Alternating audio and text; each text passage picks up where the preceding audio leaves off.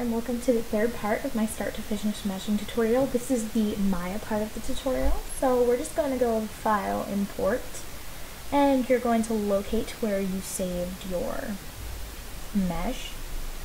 So I'm going to, and I actually already, um, I had forgot, a, I had already recorded this and forgot a step, so I made a body already, but I'm going to show you what you would have to do in that situation. So I'm going to locate the body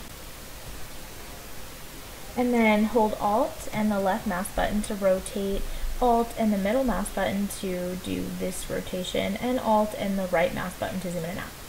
So, um, basically we're going to click this mesh, we're going to hold the right mouse button, oh, I forgot you don't have this open. So window, then UV editor, make sure you're in uh, rendering mode over here. It'll start off in modeling. And then hold the right mouse button, go to UV, select all of it, click R, the yellow box is all of it, um, is just scaling it on the Y and X axis. So then scale it down, click W, you can move it with these arrows or the little circle in the middle and just move it out of the way. Out of this little square box. So then minimize it, hold the right mouse button and go back into object mode, click the arrow, then you're going to select the body and delete the part of the body where the mesh is located. So hold right mouse button and click face and you just delete the whole inside of where that is located. Make sure that no parts are showing. See how this is showing? You just shift click where it's showing. And then you can just delete the insides. And you see how there was a little clipping showing here? Well, I deleted that. And I can do that with the arms and I have to delete the shoes. So just delete all the inside of the body and I will show you my finished product. Once you're done, your body should, you see how my sim body is perfectly fine right here? Well, on the inside, um, this is what it looks like. The arms are deleted on, and the, um, the feet that were there and the main body part. So, once you're done doing that, you're going to select your mesh, hold the right mouse button, go to add new material, I mean assign new material, find Lambert and click that. Then click the little checkered box next to color. This will pop up, click file. Then click the folder next to image name.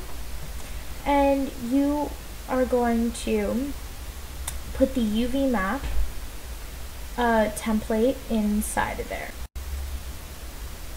And then you're going to select the mesh and the body by shift clicking. Hold right mouse button and click UV. Um, select all of that, click R and rescale it back up. And this is very self-explanatory. Since this is a full body outfit, it could go both in the top and bottom category, but I like to keep it in the top category to be safe. So, but if you made a dress, it could go both in the top in the red and green. If you made just a shirt, it will go only in the red, and if you made only bottoms, it will go only in the green. If you didn't, if you made shoes, then this is a really bad tutorial to be watching for that. So nothing goes in the yellow. So I'm going to finish mine up and I will show you mine when it is done. I'm actually going to show you the first piece just so you have an idea. So I selected these arm pieces. So um, I'm going to select both so they're both the same size. So shift click and then I'm going to click R to scale it, and then W.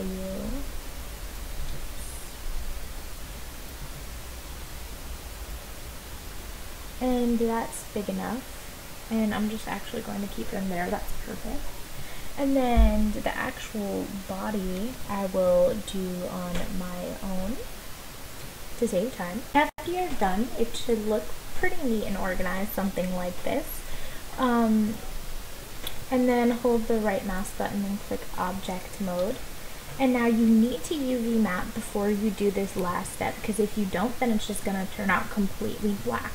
So what you're going to do is you're going to click the mesh after you go in object mode, make sure you're in rendering mode, go to lighting and shading, batch bake. You're not going to see batch bake if you do not have the plugin. I will send I will give a link in the meshing master list to the batch bake or mental ray plugin.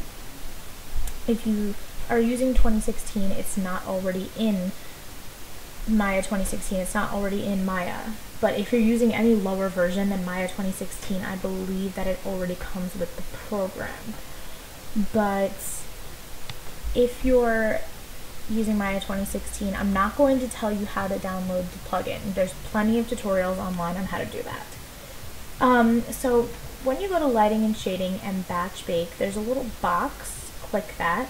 Make sure your settings look like this. I'll give you a minute to look at it.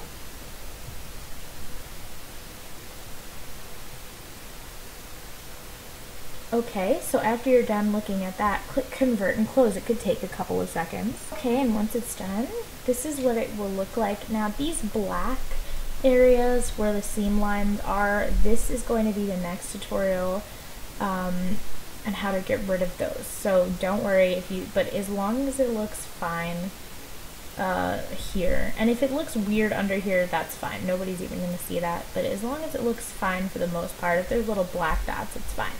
So after you're done, you're going to select both, shift click, file, export selection, and then just select the body and export selection and name it body. There's a reason for this. And I will see you in my next part.